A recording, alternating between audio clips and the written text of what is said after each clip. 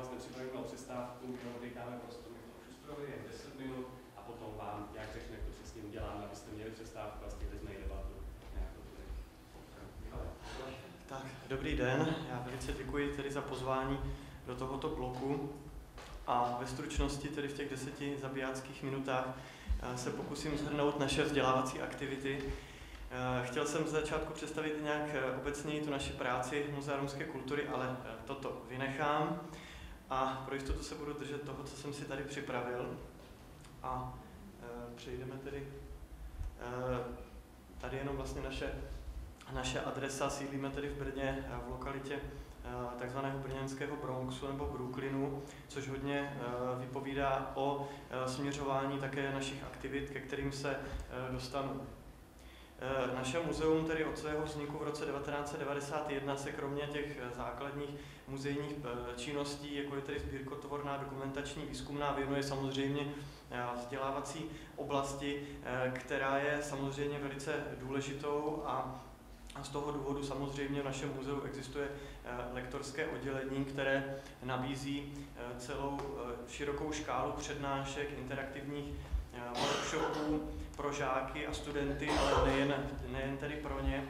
A tady tyto přednášky a aktivity vzdělávacího oddělení využívají především stálou expozici našeho muzea, která v šesti sálech, který se věnuje dějinám a kultuře Romů od pravlasti Indie, což je tady tento první sál, který tady vidíte na fotografii. Dále je tam druhý sál, který se věnuje příchodu Romů do Evropy, částečně tedy dějinám, nebo hlavně dějinám středověku a částečně novověku. Potom třetí sál, který se věnuje usazování především tedy na území bývalého tedy Československa, ovšem v dějinách do roku 1938. A e, další sál je tedy věnován e, genocidě Romů za druhé světové války. A předposlední sál se věnuje tedy dějinám e, po roce 1945 na území Československa a poslední šestý sál se věnuje současnosti formou tedy výběru výstřižku z dobového tisku, který reflektuje nějak tu problematiku v 90. letech až do roku 2005. Ty lektorské programy eh, jsou eh, různě dlouhé, náročné a jejich obsah je nastaven tak, aby odpovídali samozřejmě rozdílnému věku eh, vzdělání a délce také pobytu návštěvníka v našem muzeu. Ty programy jsou zaměřené na historii, tradice, velkou roli v naší činnosti i v tom vzdělávání hraje otevírání toho tématu holokaustu, romského holokaustu, který samozřejmě do roku 1989 byl, dá se říci, naprosto neznámou záležitostí nejen pro veřejnost, ale samozřejmě i v tom vzdělávacím procesu, takže toto eh, se snažíme také eh, hodně, hodně posilovat a zlepšovat.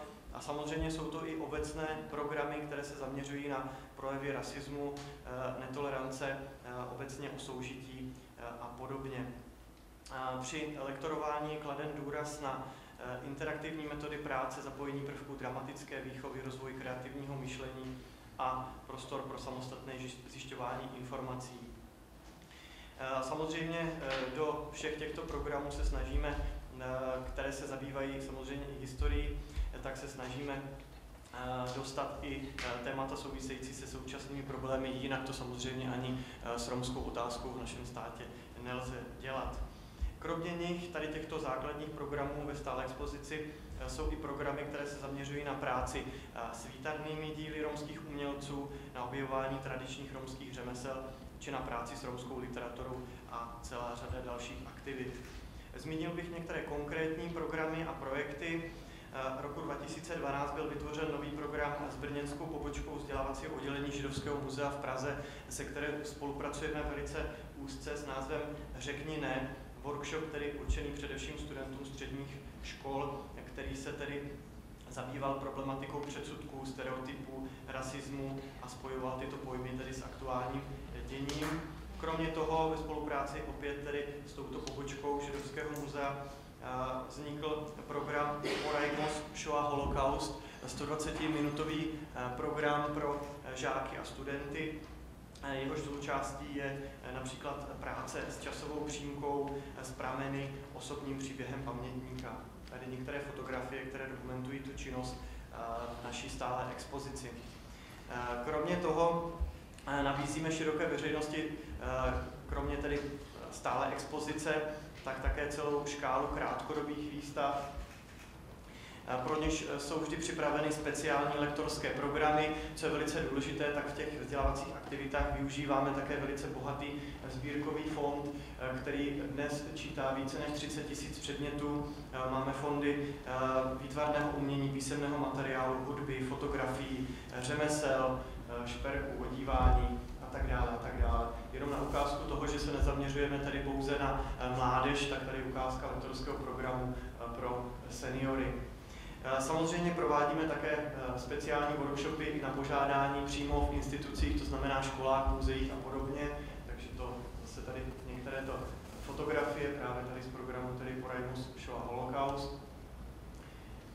A eh, dále bych zmínil také, že od roku 2010 nabízíme vzdělávacím institucím, muzeím putovní výstavu s názvem Genocida Romů v období druhé světové války, která má dvě, dvě verze. Jedna je taková těžší na oktanormovém, eh, oktanormové verzi a pak tady eh, tato, která je vlastně na panerovině. Je to 20 panelů, velice jednoduše eh, instalovatelných. Nabízíme zdarma k vypůjčení pro školy s tím, že jsme schopni zajistit také nějaký vzdělávací workshop této výstavě, po případě přednášku, po případě setkání s pamětníkem romského holokaustu a dále také nabízíme školám k této výstavě film, dokumentární film s názvem To jsou těžké vzpomínky, eh, který půlhodinový hovoří o tématu tedy romský holokaust a to i za použití eh, výpovědí eh, pamětníků, což je další oblast, kterou se také snažíme využívat ve vzdělávání, protože máme, dá se říci, unikátní sbírku výpovědí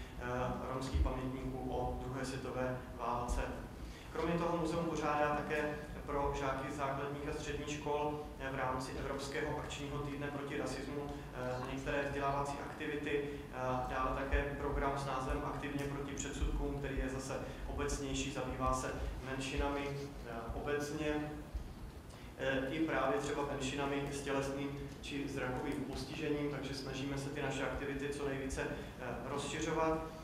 Každý rok navštíví naše muzeum a akce muzeum pořádané i mimo tedy naši budovu více jak 10 tisíc eh, návštěvníků a největší skupinu lektorských program, programů tvoří právě školy a další vzdělávací organizace jako dětské domovy, volnočasová centra a podobně. Je pozitivní, že nárůst eh, těchto, těchto skupin je rok od roku větší a v posledních letech je to ročně tedy přes 3000 žáků a studentů z různých základních škol, které se účastní našich speciálních tedy eh, workshopů a programů mimo jenom tedy návštěvu těch expozic. Kromě toho eh, provádíme eh, odborné přednášky na nejrůznější témata z romské historie, kultury a tradic. Nejdelší cyklus s názvem Kdo jsou Romové je tedy od našeho vzniku od roku 1991 a samozřejmě tady vystoupila celá řada významných odborníků, nejen tedy z bývalého Československa. Kromě toho pořádáme také kurzy romského jazyka, určené široké veřejnosti, které jsou také, eh, dá se říci, eh, čím dál více eh, oblíbené. Další vzdělávací aktivitu a důležitou spolupráci, kterou bych chtěl zmínit, tak je spolupráce s nevládní organizací Živá paměť, která poskytuje základním a středním školám přednášky o holokaustu, nejen tedy židovském, ale i romském. A my tedy zprostředkováváme program nazvaný Zmizelí Romové a Romové dnes. To je jednak přednáška o eh, tématu dějin eh, Romů na našem území a pak je to setkání eh, tedy přímo s pamětnící romského holokaustu. Tady tento projekt, tyto přednášky proběhly již na více než 100 českých základních a středních školách a účastnilo se ho už více než 3000 žáků a studentů.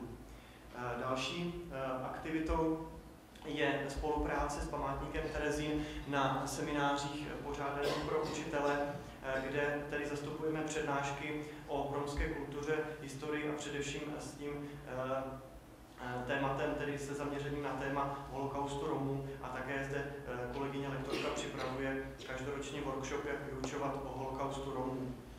Kromě toho samozřejmě další vzdělávací aktivity našeho muzea jsou externí pedagogická činnost, ať už pravidelná či nepravidelná, například přednášky pro studenty kabinetu multikulturní výchovy pedagogické fakulty či studenty Historického ústavu Masarykovy univerzity v Brně. Dále samozřejmě k těm vzdělávacím aktivitám patří činnost publikační. Zmíním například spolupráci se vzdělávacím webovým portálem Moderní dějiny, kde jsme vytvořili vzdělávací materiály o dějinách Romů ve 20. století. Pak bych zmínil také velice zajímavý projekt web o romském holokaustu romasinty.eu, což je mezinárodní webová digitální výstava o osudech Romů za druhé světové války v rámci Evropy, kde tedy na pěti osobních příbězích z různých pěti evropských států ukazujeme různost tedy samozřejmě eh, života eh, Romů eh, v před válkou, během války a samozřejmě různé osudy během také romského holokaustu. Tato webová stránka má pět jazykových mutací, zatím pět jazykových mutací, samozřejmě i českou a české reálie jsou tu zastoupeny osudem paní Emilie Machálkové rozené Holomkové, což je právě i ta pamětnice, se kterou se mohou studenti setkávat v rámci těch našich programů a která je tedy zástupkyní významné moravské rodiny Holonků z Jižní Moravy ze Slovácka. Tak, další aktivity, které se stavují ke vzdělávání, to tady zmínil také kolega Frankl té otázce toho, do jaké míry jsou dějiny menšin zastoupeny ve vzdělávacích materiálech, učebnicích, takže my se podílíme na vytváření odborných posudků na vydávané učebnice dějepisu vlastivědy českého jazyka a samozřejmě další pro potřeby schvalovacího řízení ministerstva školství, eh, ve kterých se snažíme reflektovat právě to, aby eh, se dějiny Romů neobjevovaly pouze v souvislosti tedy s holokaustem, ale by byly integrální součástí eh, tedy toho výkladu, aby se neukazovalo uh, žákům tedy uh, to, že jsou opravdu, jak tady zase bylo zmíněno, pouze skupinou, na které se páchá nějaký zločin a to v dějinách tedy neustále a že tady jsou jenom nějakou opětní skupinou. Eh, kromě toho, co bych chtěl zmínit právě v souvislosti s naší polohou v té oblasti Brna, ve které se muzeum nachází, tak samozřejmě ta sociální vzdělávací činnost zaměřená i na tamní skupinu obyvatel a především děti, tak to je samozřejmě i důležitou součástí, to je dětský muzejní klub, který probíhá každé odpoledne v našem tedy muzeu. Jsou to jednak různé dramatické, sportovní, pěvecké, vytvarné kroužky, je to i individuální doučování, různé výlety, návštěva divadel, kina, tady aktuální fotografie tedy z Mikuláše. A samozřejmě jsou to i celé další projekty, které jsou podporované financemi z ministerstva školství, z evropských dotací a podobně. Zmínil bych například projekt zaměřený na podporu desegregovaného vzdělávání romských a sociálně vyloučených dětí, protože my se nespecializujeme pouze tedy na romské děti, ale na obyvatele té čtvrti, ve které se nacházíme. Cílem tohoto projektu bylo vytipovat si určitý počet dětí, které, kterým vlastně naši mentoři, speciální mentoři pomohou s docházením do škol mimo ty lokality, tedy do většinových škol, protože ty školy, které se nacházejí v blízkosti té lokality, jsou opravdu menšinové. Pomoci jim tedy v zařazení do toho vzdělávacího procesu a e, pomoci komunikaci s učiteli, s rodinami a opravdu se e, ukazuje, že ty děti e, jsou velice úspěšné, když se teda jim podá takováto pomocná tedy ruka. Dále je to například spolupráce s Pedagogickou fakultou Masarykovy univerzity, konkrétně s oborem speciální výtvarná výchova, kdy studenti pracují s dětmi na pravidelných dílnách i na půdě tedy pedagogické fakulty fotografie, kde samozřejmě snažíme se propojit uh, informace. Uh, to je, co je vlastně velice důležité, není to jen práce uh, s dětmi a se školami, kde se snažíme informovat je o menšině, ale je to i práce přímo s tou menšinou, abychom je informovali a učili o jejich vlastních dějinách, o kultuře a podobně, a nejen tedy o kultuře jejich, ale i dalších menšin. A tímto to byl poslední slide. Ještě bych chtěl tady zmínit důležitou práci s dobrovolníky, které se, kteří se věnují tedy romským dětem, to zase spolupracujeme s pedagogickou fakultou a s projektem Domácí učitel, kdy spolupracujeme eh, s téměř 30 dobrovolníky z řad studentů, studentů i pracujících, takže i to je důležitá vzdělávací funkce, že se snažíme budoucí učitele zapojovat do té naší muzejní i pedagogické eh, činnosti.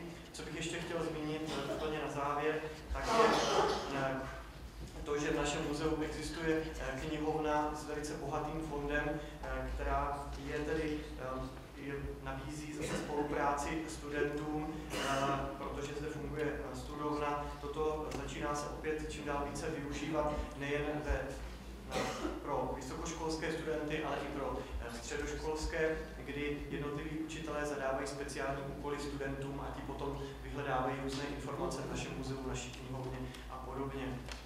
Eh, přinesl jsem sebou eh, některé prezentační letáky o našem muzeu, o aktuálních výstavách a také několik výtisků romských novin Romano Hambus neboli romských hlas, který vychází v Brně. To potom najdete v šatny, kde budete mít zájem. A ještě bych vás chtěl pozvat na aktuální výstavu, eh, která se nazývá Paťan Mapaťan, neboli Věřte, nevěřte, eh, která bude do konce eh, února muzeu a která se věnuje eh, z prezentaci eh, romského tématu a Romů v českých médiích od 19. století až do současnosti a opět zase jsou k tomu speciální lektorské programy, eh, nějaké doprovodné materiály a podobně, takže kdokoliv budete mít zájem navštívit nás se studenty, tak jste srdečně vítáni a děkuji vám za pozornost.